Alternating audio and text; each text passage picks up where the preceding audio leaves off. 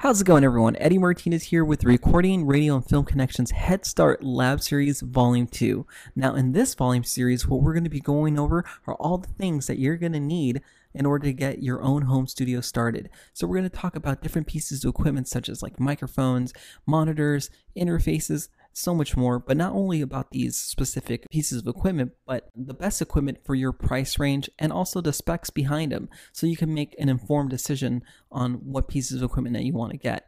And we're also going to talk about some of the things that you don't need in your own uh, home studio, uh, some things that are better left off to the professional studios. So hope you guys really enjoy this series. It's going to be really great and you guys are going to receive a lot of tips and a lot of information on these pieces of equipment. And now just a quick word from the company that's making this possible. Thanks for watching this video. And if you're watching this video and you're not currently enrolled to the Recording Connection, this is only a small taste of what you could be learning in our program. The Recording Connection provides all of our students with industry standard software, like Pro Tools, to take your engineering skills to the next level. We also provide books with excellent lesson plans, a professional studio engineer who will mentor you and show you how to operate real studio equipment, and so much more. With the Recording Connection, getting finance is a breeze. We have many different tuition options, so getting hooked up at a studio near you is fast and easy. For more information, check out www.recordingconnection.com. And of course, I'll catch you guys on the next video.